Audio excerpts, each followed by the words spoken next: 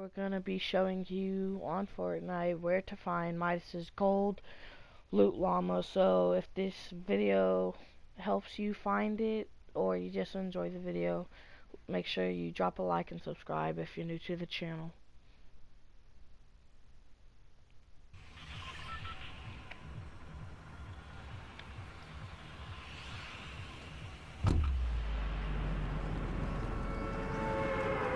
So here's the gas station, here's the junkyard, and here's the RV camp.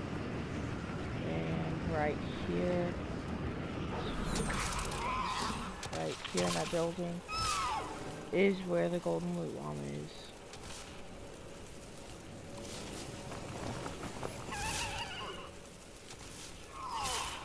I've already searched it, so it's not going to be there for me, but I guarantee you if you come here, it will be here for you.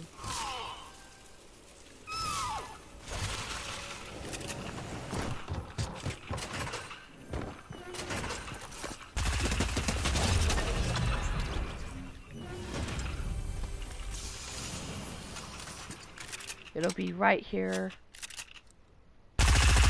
on that wall.